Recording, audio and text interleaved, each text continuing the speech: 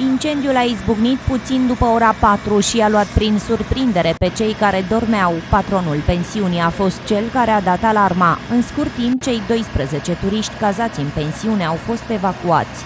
Deja erau flăcări. Asta am văzut. Totul a fost prea rapid, am încercat să ne scoatem unul pe celălalt. Asta am putut face în clipele atunci. Fum, când am ieșit noi, ne-a strigat, era mă, fum pe hol, abia am ieșit. Cine, cine a dat semnalul? Patronul și cu băieții, colegii.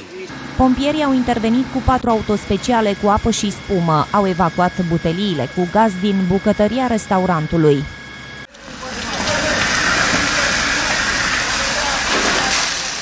Pensiunea este construită pe structură de lemn, ceea ce a favorizat extinderea flăcărilor la întreaga clădire.